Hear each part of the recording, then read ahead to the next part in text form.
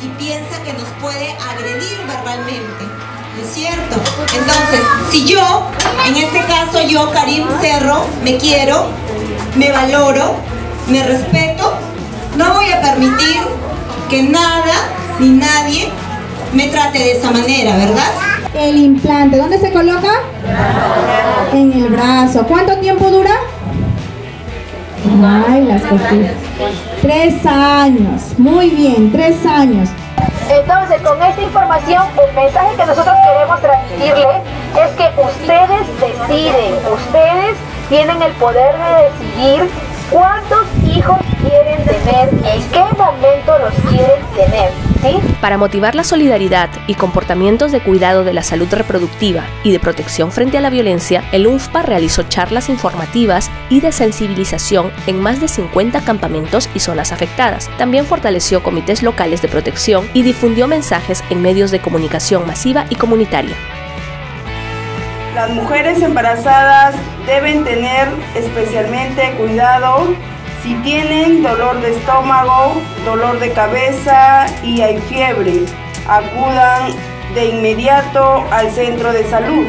Es un mensaje de la Dirección Regional de Salud y del Fondo de Población de las Naciones Unidas. Que gracias a esas charlas muchas mujeres despertamos y no nos dejamos maltratar de los hombres.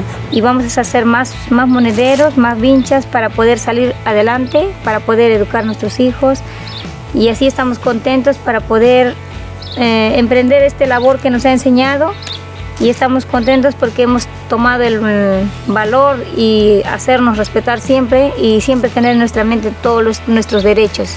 A valorarse uno mismo, a quererse uno mismo, ¿no? Quizás antes eh, no teníamos mucha noción de eso porque dejábamos que cualquier persona nos maltrate, ¿no? Nos, nos hacen saber de que tenemos alguien que nos pueda defender, ¿no? Y es pues la, el Ministerio de la Mujer, ¿no? Y también decirles a nuestras señoras de nuestro caserío de que por favor de que no más, que no callen, que debemos de ir y denunciar a nuestros hijos también que no lo maltratemos, que lo, lo tratemos con bien.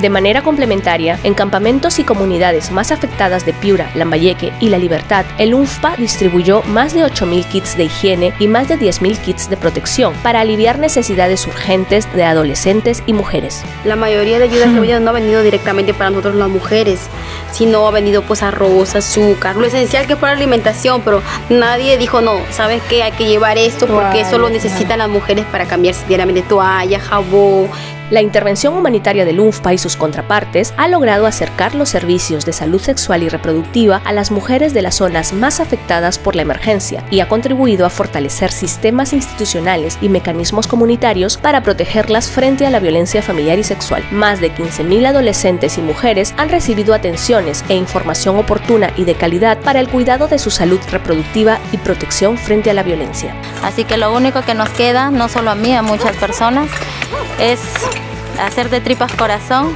darle buena sonrisa a la vida y demostrarle que la vida no, o sea, es dura, pero que no nos vamos a quedar ahí, tenemos que seguir saliendo adelante.